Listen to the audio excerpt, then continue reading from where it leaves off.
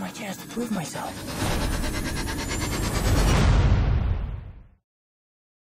There's Captain America. There's Iron Man. Whoa, look at that new guy. Who's that? Underoos? That's my cue. I gotta go. I started a fight with Captain America and I stole his shield and I threw it at him. At him. The hell, he's big now. I gotta go. It was the most amazing thing that's ever happened. So Mr. Stark was like, hey, Underoos. And I just sort of flipped in. Hey, just a second. Coming. We have thin walls here. The rich and the powerful, they don't care about us.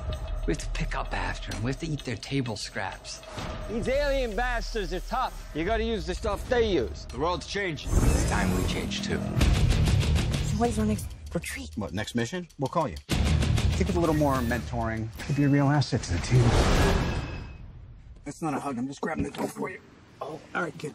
Good luck out there. Someone is collecting stuff from Avengers battles and building these crazy weapons. This is my chance to prove myself.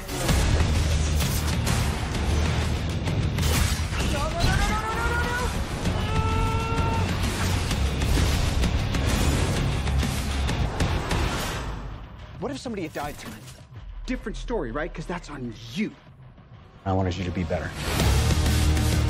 Eight years without any trouble from those bozos up in Stark Tower. Then this little bastard in red tight shows up. and he thinks he can tear down everything I built.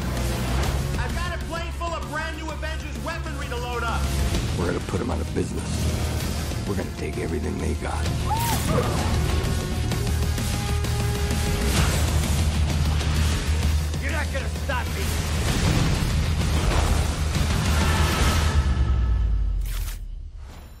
him too?